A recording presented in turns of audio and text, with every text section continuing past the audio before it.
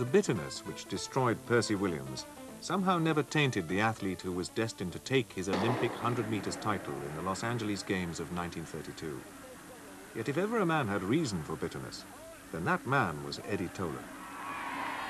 In the course of a short and dazzling career, Tolan fought poverty, unemployment, color prejudice, and persistent injury. That list of enemies would have discouraged the bravest competitor, but there was one other factor which was beyond his control. When the gods designed Olympic sprint champions, the men they had in mind were not five feet four and a half inches tall. Tolan set out to show that the gods could make one magnificent exception. Eddie Tolan's story is in the classic tradition of black American sprinters.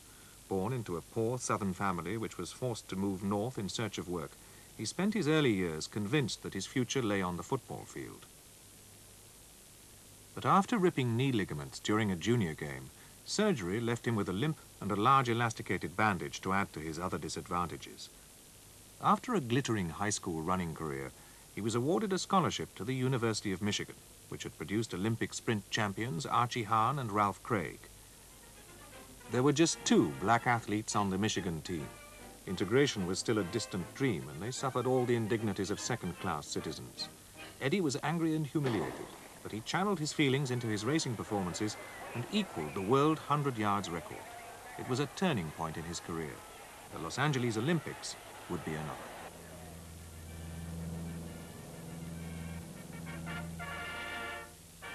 These games were America's rebuke to the recession. They attracted one and a quarter million spectators, 2,000 athletes, and the enthralled attention of the whole world. When the teams marched into the Los Angeles Coliseum, Tolan was rated America's second finest sprinter.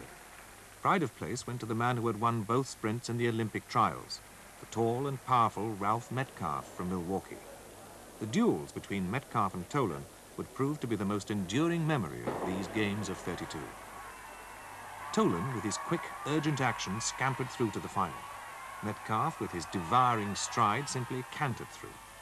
The first American victory since 1920 was taking shape. But which American would be victorious? On August 1, 1932, the cast assembled for one of the most controversial Olympic sprint finals. The three most fancied runners were Tolan, Metcalfe, and their chief challenger, Jonath of Germany. Joubert of South Africa, the third American, George Simpson, and Yoshioka of Japan made up the field. Yoshioka took the early lead. At 50 meters, Tolan began to roll. Then, inevitably, Metcalfe's giant stride brought him level. As they hit the tape, not a person in that crowded coliseum could separate them. Tolan waited and worried. Then they announced the verdict. Winner, Tolan. 10.3 seconds, equaling the world record. Second, Metcalfe, same time. To the day he died, almost half a century later, Congressman Ralph Metcalfe was convinced he had not lost that race. He insisted it should have been a dead heat. But even Metcalfe could not grudge Eddie Tolan the first piece of real luck that life had brought him. Yet even Metcalfe's charity was strained by the events of the 200 meters two days later. On the face of it, Tolan took an unexpected victory with some ease, returning 21.2 seconds for a new world record. But it was later revealed that Metcalfe had dug his starting holes in the wrong place, giving his rivals an advantage of some four feet. He worked wonders to finish third behind Tolan and Simpson, and later he was offered a rerun. He declined.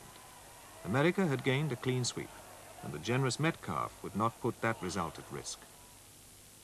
As the only American track athlete to win two gold medals, Eddie Tolan imagined that life might now become a little easier.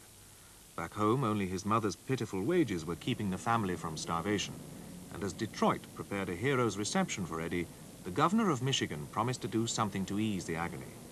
But those promises were never kept. Eddie grew used to the disappointments. His great ambition was to become a doctor, and in his desperation to pay his way through medical school, he accepted an offer to tour the vaudeville circuit, telling stories about the Olympics for $1,500 a week. Sadly, the money never came. The show closed after just one week. The medical career was just another hopeless dream.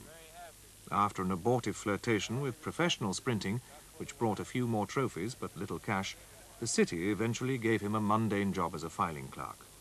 More mundane jobs followed.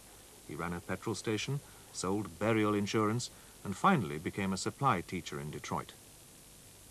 He died after a heart attack in 1967 at the age of 57. The city named a playing field in his memory, but by then his achievements had faded into history. Yet the deeds of Eddie Tolan had paved the way for a long and dazzling line of black sprinters, and the most famous of them all was already moving towards center stage.